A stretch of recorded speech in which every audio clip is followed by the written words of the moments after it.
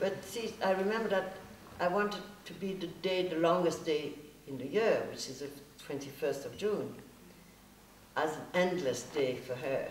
It's related to time, the whole thing. And, and really, since it is the first day of the summer, and he makes a mistake by saying l'été de fleurs and Ceres, it came like this. But Cléo de Sept is a title which has a kind of side thing, you know, the Cinq à Sept in France, in French, is like afternoon love meetings. Uh-huh. It's, a Cinq à Sept is something very daring, you know. And Cléo was the name of a famous, Cléo de Mérode, was a famous poule de luxe, as they said at the time. Not poule de luxe, cocotte de luxe. There were these women around the 1900, 1900, had been very famous. You know, they were loved by rich men who paid for them, you know, a house and horses and carriages. And it was like flirting with something light about de Cinq à Sept, as if it were a love rendezvous or something, when it is fear and waiting for a doctor rendezvous, which has nothing sexy about it. so it just came clear, came fine to me. I don't know more about the name than that. Because the film is not from 5 to 7, but from 5 to 6.30. and that's why I say that the 5 to 7 thing is, is a kind of joke. Because I didn't want to do a two hours film. Too long. it's too long because when you have fragile films, you know, I think it's fragile to tell nothing, you know, to just, we know she waits for something, she spends some time, and plus playing the thing about real time and real geography.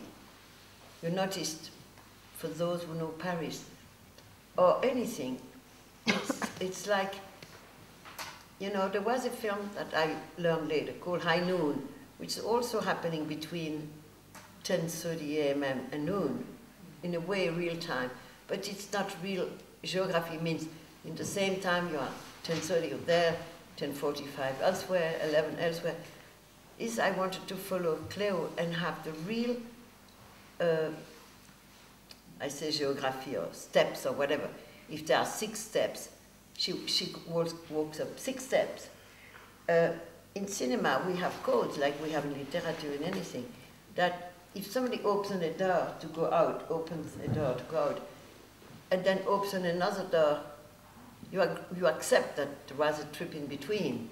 We jump time all the time, you know, we skip, it has stairs, you know, like three floors. You see somebody go up and then enter. We don't never do the whole thing. So in that one, it was, comment dire Paris, uh, Paris. Quoi? A Paris. Un Paris. It's like giving yourself something difficult to achieve, but I can't remember now the, the word. That we won't cheat with the seven steps. If there are seven steps, if the, she has to go through uh, the patio to go to her house, or when she takes the taxi, Rue de Rivoli, and she goes to Rue Huyghens, which is at the Métro Vavin, it's the real, the real way, the real streets, the real, the whole way, the whole distance is not cheated. So uh, I, I, had in mind really to, to make precisely the time, and it was difficult. Like, you know, you're going to cheat with to see a, a clock in the street which says 520. Okay, it's 520 in the screenplay, we do it.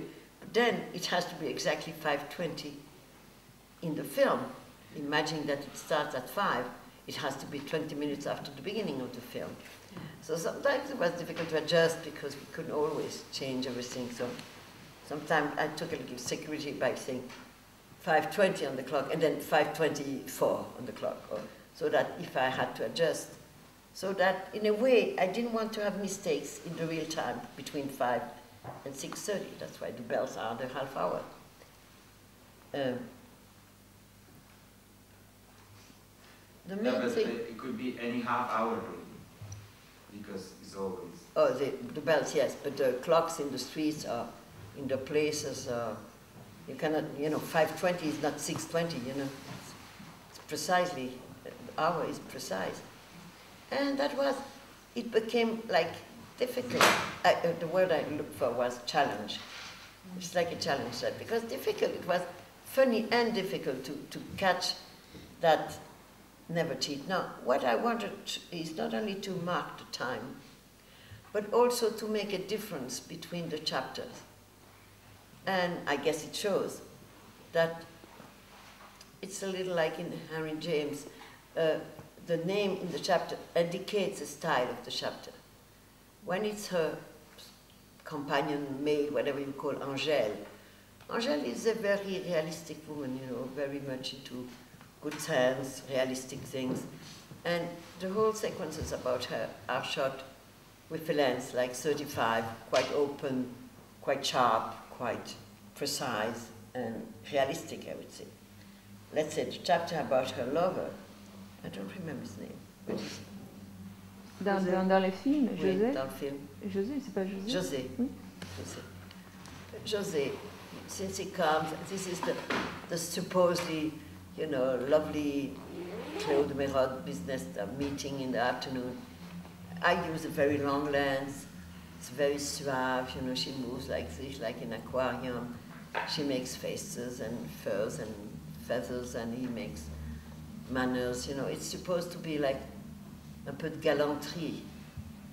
And, and I change lenses and I change the way of telling the story, even though the time goes on, specifically not, not cheating with that. There were different approaches to film her, or it's not exactly seen by Angèle or seen by Antoine, but let's say that José is dominant the chapter. So is Angèle is the key of the chapter. And later on, when she meets Antoine, is the key of the story. And then they are together. The only chapter with two persons is the last one. Since we can imagine they are together for that time. Both in danger, I would say. But at the time, you know, when I was asked to make a film for that producer, I had a beautiful project happening in set in Venice, color, I mean, a very important project. He started to sign the thing and then he said, it's too complicated, too, uh, too, too expensive, too complicated. Make a film, 30 million, not more. So I started to think, how can I make a cheap film? Then we have to go like, cheap is, you, you make it in a short time story because it's more easy to, to make a film in one day than in, you know, above months or years. Then I thought should be in the same city so we don't have trips and things. Most of the technicians are in Paris. If we do it in Paris, they pay less expenses to people. So I went like this by just thinking about what I could I do to make a cheap film. Then I thought, if I make a very short time, she can have two, three dresses, but not 40. and, and, and then I thought, and then I had in mind, if I shoot in Paris, I mean, what is dominating my feelings about Paris? It's fear. You know, I, I came from the country in a way, country city, and I'm not a Parisian, and I felt that it's a city to be, to be afraid of, afraid of loneliness, afraid of so many people, and so fear. Fear of what? And at that time, it was fear of cancer. Later, it was fear of nuclear, like it had been then fear of AIDS, and now it's fear of poison or whatever. So, fear of cancer. And so, so, so sometimes people ask me, does it come from an experiment that you had? Like you had been sick one day and you were afraid to have a cancer? I no, no, no, it, came the beginning very reasonably like this. She, Paris, fear, etc., little by little. And then, and then I remember uh, something I liked, a novel by Diderot, old writer, Jacques le Fataliste. I don't know if you ever saw, read that. And it's a, he, goes with his servant in a way, and then they make a trip traveling. And when they stop, like in, a, I don't know, It's not an hotel, a hotel of that time. There are other people telling stories, side stories. And in the story, there are like little side stories. And I wanted the maid to be like this. That's why when they go in the cafe, you hear a story of a man about his wife, a couple make a little discussion. So little impression coming from other things. But the main thing is she waits for a result of a medical exam.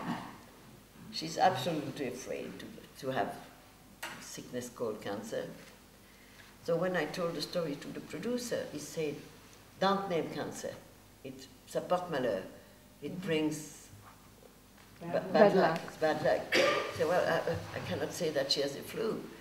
And you say, okay, I allow you to name it once. You know, I said, okay, fine, once. So that's in the garden. She sees when she's with the soldier. One point he said, afraid, she's afraid of everything, and she said, cancer. Okay. So I named it only once. But, you know, that's the only pressure he had on me. He was afraid that if we spoke about illness all the time, would turn the people off or something. So I didn't listen too much about that because he didn't care about the time, the story, the, he didn't care about anything. Never came to the dailies, never asked me anything, and came, he came when the film was totally finished, edited. That was my relationship with that producer. He sat and he said, in French, I said, c'est moins emmerdant que je croyais que ça allait être. You know, it's less shitty that I thought it would be. Good for me. So that's all we had. And then the film was selected for Cannes Film Festival. It did very well. So uh, I didn't care too much about what he was saying, to tell the truth. But I accepted to name the word cancer and leave once. So the thing was to, to have real time.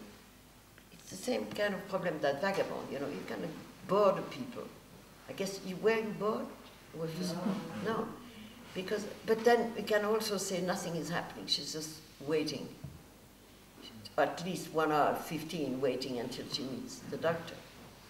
And then I wanted to establish that she was a kind of, she was a coquette, she's a coquette. But the main point, I don't know if it shows, is the film is one hour and a half. And there is a big change at 45 minutes, exactly in the middle of the film. All the first part, she's looked at. She's passive. She's described by the way people look at her. And the way her maid looks at her, the people in the street, the woman who sells a hat recognizes her, um, even when she sings with her group. I mean, she's, she's kind of beauty, she's a star, she's looked at. She's used to describe and to find herself, to feel herself as seen, loved, or admired, or described by the others. Now, when she suddenly gets, wakes up of something, because she sings a song which is too much for her, she understands that she's in a fear that they cannot share, she, she breaks something. She gets rid of that déshabillé, whatever you call that, so du lit, frou stuff. She gets rid of her wig, and she goes out with a little dress like this, with just a little something and a stupid hat that finally she throws away. From that time, she's the one who looks at things. And from that time, she looks at the people in the street, the one who swallow and swallow the frogs and vomit them, and the other one who does that. And she looks at shops, and she looks at herself with a ridiculous hat, and and she looks at her friend being exposed naked as a model, and she can see that the artist looks through the body of that woman. They don't look at her as a as a body, but as something they need to, the, to make a design, to make a piece of art. And she looks at everything in the street. And I really, when I did it, I did it as a metaphor of feminism. Even though the film looks very feminine from the beginning to the end, for me it's a very feminist reflection of thought that the day women started to look from, for themselves to other people, to other things, to landscape, to street, to events, when they're not uh, organizing themselves through the look at the other on them, especially beautiful women. In that case, beauty is a handicap, is very difficult, more difficult, I guess, for being different. From that minute, 45 minutes, she looks at things and already she's changing. Something is changing. And I really believe that the day before, if she had met that soldier, she would not have spoken to him. She would have thought, you know, like, well, one, of, one more wants to get me, or say, vous voulez prendre tasse de thé, or something like this. Like the stupid man on the bridge who says, vous habitez chez vos parents? You know, the classical thing. Do you live at your parents' or? You know, the kind of stupid things sometimes are just like this to start some conversation. Another day, she would have not been able, I guess, to just listen to him like a normal thing, to listen to somebody else. So for me, it's very important what happens to her that the fear wakes something in her. And big emotions are very good start for changing mind, changing attitude, not especially fear of cancer or any kind of strong emotion. And because she's like, start to look at things, she can look at that man and understand his own fear, being in a stupid war, obliged to go back to the war. And they share something which is, I mean, two lonely, two lonely experiences that can be together for that specific short time. And then the feeling about short and big and short and long is what is leading the whole film for me. Like, I would say objective time and subjective time, if it makes sense. And objective is the clock, is 5.10, 5.30, 6, 6.10. But subjective time is what we all feel, you know. When you wait something, it's very long. If you're speaking with friends, the same five minutes go by in a minute. And I wanted to feel the time doing like this, suddenly expanding and being suddenly narrow expanding, so they can say in the same time, we have so little time, she said, on the bench. And two minutes after, she said, we all, we have time. Because that's what we feel. We don't feel time as a reality. We see it as a reality, but we feel it like we feel, with totally different approaches to the sensation. Feeling is sensation. Sensation. The wonderful film within the film uh, includes quotations from at least half a dozen French, major French films from the canon, from the Lumiere brothers. You speak about the little film that you see in the Yes, booth? the film that she Yeah, well. I wanted to tell you, it was very clear in my mind. I was so afraid that people get bored in that film. that I thought, and it's a classical rule that we all know that, let's say, at the end of the third quarter, or the the beginning of the sixth, five or six, sixième, something at the end of the film, approaching the last part, there is always a kind of something like this, falling down. You get used to the story, you get used to the characters, you get, a, you know what will happen, or you think or you imagine. So I thought I should do something to wake them up now, in case they get bored. And I thought a very nice friend, Dorothée. I imagine she was a girlfriend of a booth projectionist, you know. And she would help by getting him a print or picking a print, I don't remember. She picks a print at Montparnasse, right? Or she brings a print, I don't know. but then, so they would tell him, oh, look at the booth. Obviously, I made that little burlesque film. Is that what you're asking about? Yeah, yeah. Well, the little film, again, is a metaphor for two things. One is that I was very friendly, and Jacques Demy and me were very friendly with Jean-Luc Godard and Anna Karina at the time. And I love and loved and love his eyes. He has a beautiful look. But at the time, he was using dark black, black like glasses. Little by little, he became aware of that, and now later he used glasses, but you know, you can see his eyes. At the time you couldn't. And I was getting so mad discussing with him, come on, get rid of these stupid glasses and nobody can see you. I mean, are you hiding or what? And I thought, mm-mm, I get him. I make a story in which, because of his black glasses, he sees nothing, and he thinks that she's dead or something, and he will be obliged to get them out, off. So he got them off. Have you seen how he looks like Harry Langdon or something? Beautiful silent actor, no? Don't he look beautiful?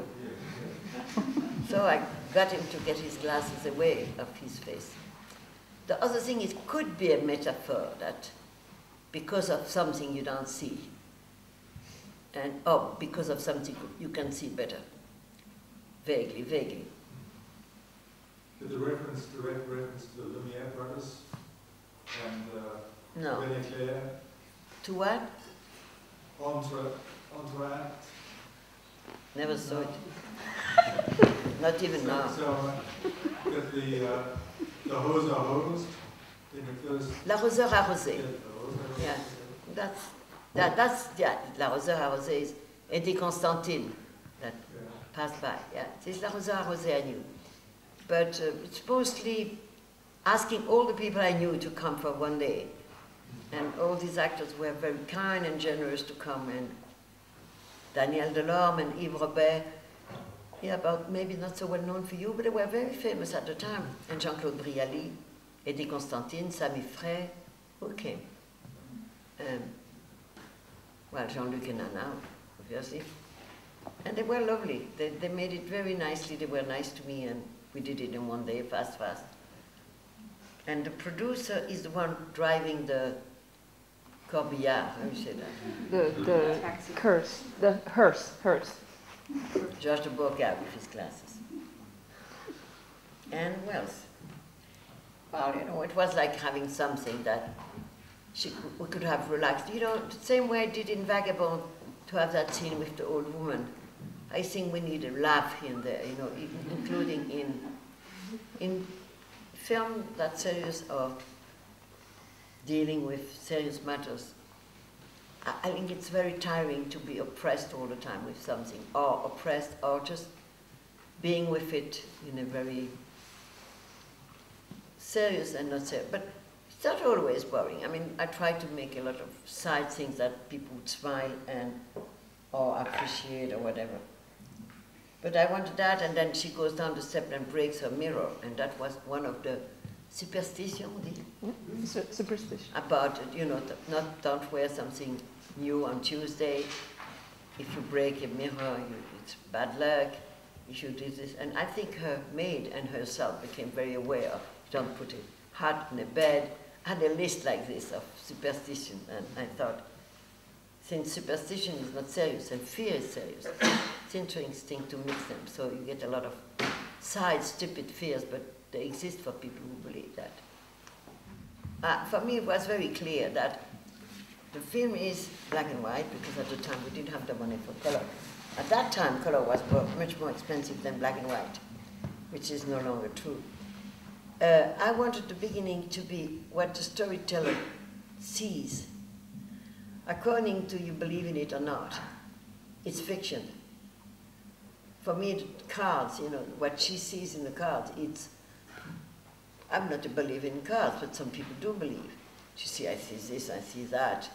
And, and the way she's very dramatic to her husband, which is hidden in the bathroom in the time she has clients, you know, and she I saw the death, you know, and brings us in something that we don't know if we have to believe or not. But the cards are like the dreamy like, dreamy life in which you don't or you believe or you don't have to believe. That was an idea I had. No specific explanation than just that.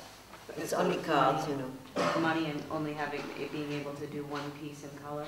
so No, it's not really about that, but I like the idea that that was something fake.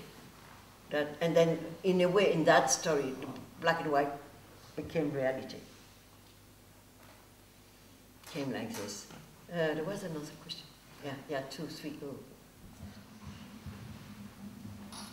Uh, it's good for me that I don't go while saying, is that my subject, should I do something else? But it is true that it looks like negative, you know, that very blonde woman, Cleo, wondering, she's still afraid to die.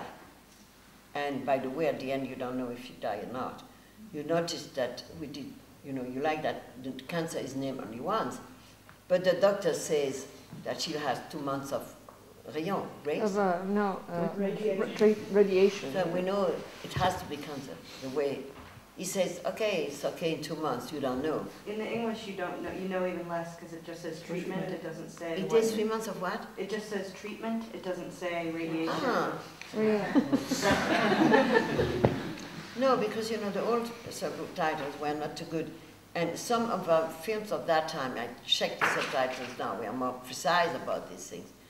Uh, it's three, it says two months of Oh, rayon, yeah. rays. yeah.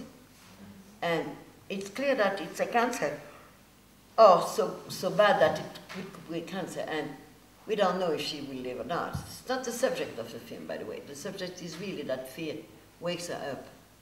And at a time when maybe she has little time to come in, and with that man that she won't maybe see because he'll die maybe too also. So her wondering is because she waits for something, and it's all about her, she's there all the time, this is true. And we can say that it's a kind of negative and more desperate thing about Mona in Vagabond, because she's going around like this, and we know she's dead. She will die because we see her dead at the beginning. And she's also described by other people, you know, watching her, being witness of her life. There are two, this is true, there are two relationships between these two films, separated 61 and 85. Mm. But no, Gleaners is not wandering. I mean, I'm wandering. I like every artist is wandering, getting things here and there. But Gleaners is really about Gleaners. And my position as a filmmaker, I established more myself as a filmmaker than really being gleaning, but making a documentary which is not objective. I totally accept that documentary is about reality, but it's seen by somebody. And uh, the filmmaker of a documentary can be hidden or can be exposed. And I thought it would be more honest to be exposed among the other people I expose in the film. But it's not exactly about wandering. But yes, it is true that I've made other films than those. Uh, as a subject, I mean, Happiness was about a couple and dealing very much with the man position about freedom. I made other films. I made Kung Fu Master was a love story between a woman of 30 or 40 and a boy of 15. So I'm interested in, I must say, people being in danger or being slightly different or being side or being mar marginal or being different. I must say, like I wouldn't do, though I think it's well done, but like films of Chabrol telling stories about the bourgeoisie and how rotten they are, or stories happening to them. I'm not interested, I mean, in terms of making films or writing about that. I'm really more interested in, in things that touch me because they're slightly off and society is not indulgent and not accepting and not understanding. I, I'm much more uh, un- attracted by these stories or character or imagination of that people. So Cleo is a beautiful woman, but she's in danger really. And being in danger for some different reasons, illness or special feelings. But I never touch and never did, and I don't think I will work on people being uh, uh, psych- psychologically atta- like, you know, crazy people or Psychopaths. psychopath or being vaguely off or uh, I don't know the name, autist and all that, which are very important subjects, but I'm not able to to approach that clearly or understand it. So there are many things I would never touch because I know, oh, it disgusts me like war film, you know. I, I wouldn't do it one, even to say that it's bad or good. I, I, could not, or I don't know, or unable. I'm totally out of a lot of subjects. So when you see connection between my films, well, there is one connection, I made them. I mean, in a way. But you don't see yourself as following themes, you know, it comes and it clear after 40 years, more than 40 years, that something come out clearly that at least I didn't do. Uh, no, you know, the soldier is is in the Algerian war, and many people, and among the soldiers, many soldiers, like many American soldiers, were not happy to be in Vietnam eh, because they didn't believe the war they were acting in was good and reasonable. No war is good, but you know, it's more understandable if they come and kill your neighbor to fight than one kill your neighbor. It's kind of understandable. But in these colonial wars, I mean, they were very against it. So they had the feeling that being afraid, which is normal, but being afraid to die for a bad cause, I would call, made the fear of death more accurate and more str- and stronger. So that's how I think there are two relations, there are two loneliness, there are two lonely feelings, as I said before, can join because both of them, they, they are afraid of something they don't know and they don't agree, and suddenly they feel that by that meeting, in which there is a little uh, flirtation, a little storytelling, a little, he wants to amuse her, and she's amused, and, and she tells the truth, and in a way they don't hide, you know, and this is so good, I guess, to feel that makes them feel something good, and she's able to say, I feel maybe I'm not afraid, and maybe I feel some happiness, which is some so odd. Just, you know, it's about time. It's also about some time in the time that are so precious that suddenly something happens that makes that time more interesting than before and after. Moment, the moment de grâce, whatever you call that. And I thought it was important that we could feel sometimes the pressure of she feels that something very, and then suddenly it just, it, it, you know, I really felt like um, metronome and violon, it's like a comparison that I use. Metronome is the thing to use, you know, the, for piano, you know, or learning music. This is, it, it's a beat, you know, doesn't, you don't change the beat. But the vi- violin player, I mean, sometimes you don't hear anymore, any longer the, the metronome, because I mean, the, the melody takes you away, or the way the sound is so nice that you are in the same room, but you don't listen to the metronome anymore, any longer.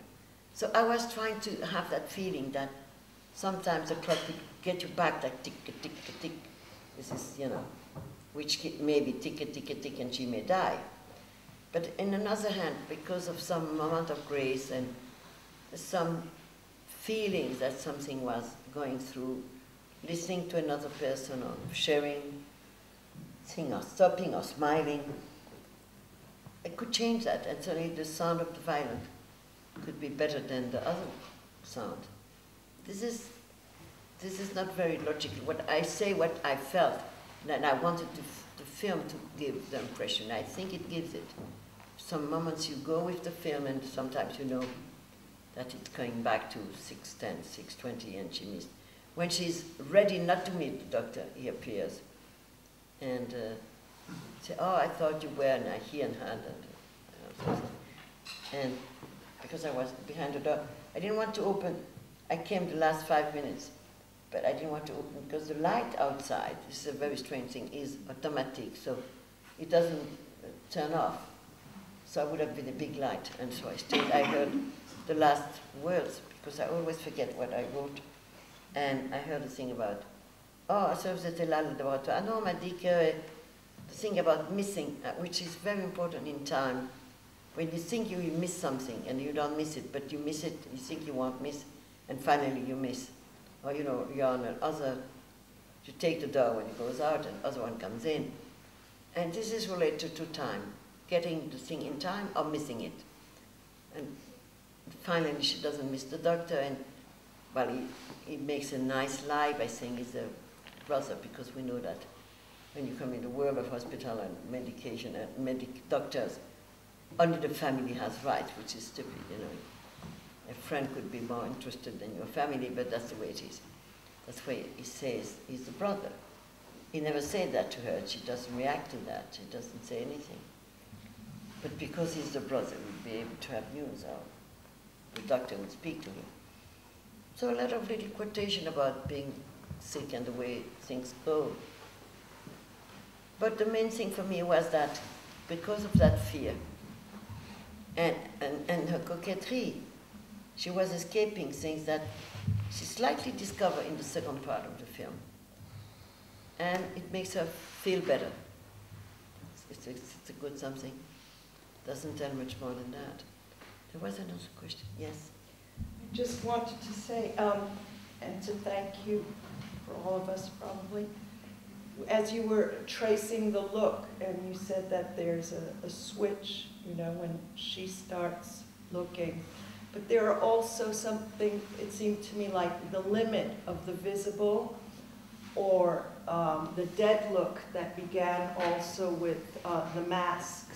So you don't know who's looking at whom when she sees the masks. I don't know if you remember that there, are, but the cancer itself is um, at the limit of what can be seen. It's almost the anti-film in a sense that she, in other words, uh, she she keeps on saying that it can't be seen. It's it's what where the look stops, right? There is no gaze except eventually, I suppose the doctor get some film to decide whether, even though it was a prélèvement as well.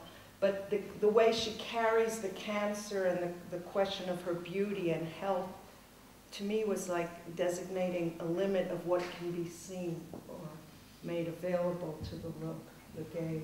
Specifically. Because when she comes down from the storyteller, and she's one of these, I love this hold where there is mirror both sides, so you see yourself like for, you know, an unlimited visions of herself. And she, she is very happy about her own beauty. And she sees if she's beautiful, she's not sick. There is something very stupid about her. But like as if her beauty could protect her.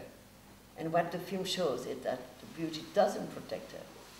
And the beauty obliged other people to make her like a doll of herself, like a puppet of herself. And, and when she behaves with the Michel Legrand, who plays himself, you know, he plays the Michel Legrand. And the other, they want her to, she feels that they have a kind of contempt for her. Like she's a beauty, but she's stupid. She's beautiful, but she cannot sing. She's beautiful, but she's not good. There is a pressure like this. And it's well known that very beautiful women, there is a tendency to say that they're stupid. And, and there is like a social pressure about that, psychological, collective pressure. That's how, when they give her that song that says that she'll be dead in a, in a cercueil, je sais plus que c'est qu'on. Coffin. coffin. Alone, you know, pale and livid and without you, without you.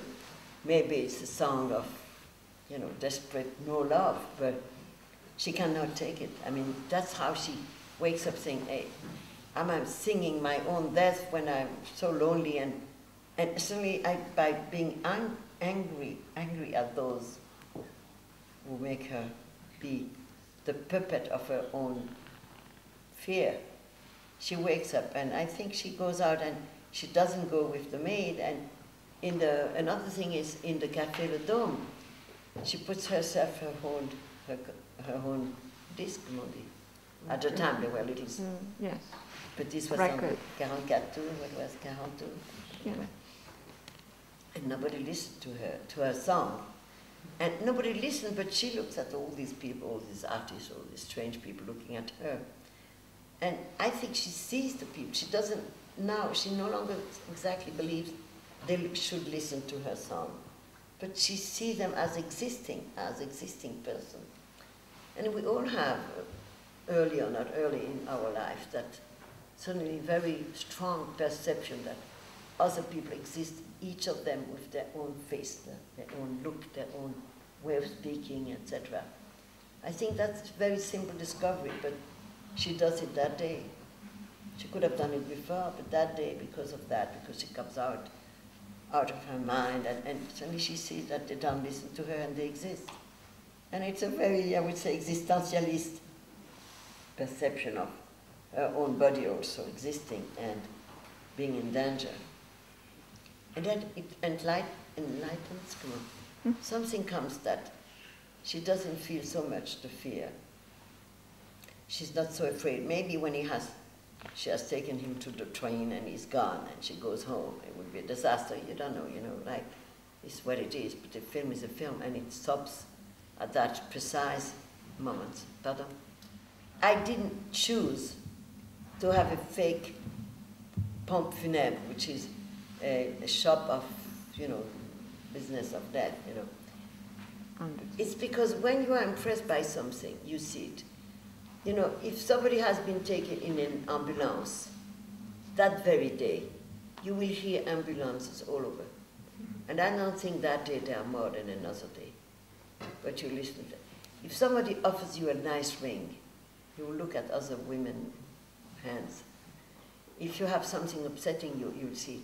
I was impressed that the real way of Cléo, because she has to go from Parc Montsouris to the hospital, she takes the right bus, we go there. These shops were there, like one which is called Bonne Santé when she comes out of her house, or Pompe Funèbre.